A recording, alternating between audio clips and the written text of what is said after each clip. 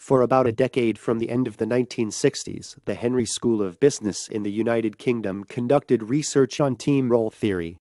Among them, a team consisting of only people with outstanding intelligence was named the Apollo team and analyzed its performance. As a result, the more complicated things such as building an Apollo spacecraft, the more talented people are needed. But in reality, the organization that gathered these people did not perform well. Apollo team members spent a lot of time arguing uselessly to persuade other team members of their own ideas. But no one was persuaded. The problem was that they were all good at finding blind spots that other team members had.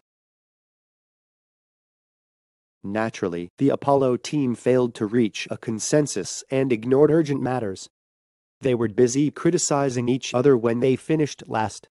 It was an Apollo team consisting of only outstanding people, but the result was very disappointing. The phenomenon of low performance in such a group of talented people is called the Apollo syndrome this is why creative management requires talent with a collaborative mind rather than arbitrary genius.